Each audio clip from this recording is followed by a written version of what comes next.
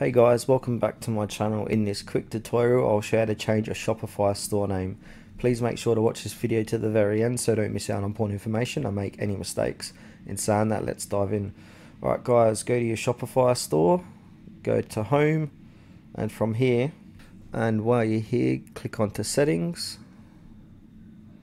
And now on the middle of the page here where it says store name, my store, just click on the pencil icon there and give your store a name here. So I'm going to call this tutorial Wiz, like so. My store email is there, and I can even give my store a phone number if I wanted to. So yeah, that's it for this video guys, how to change a Shopify store name.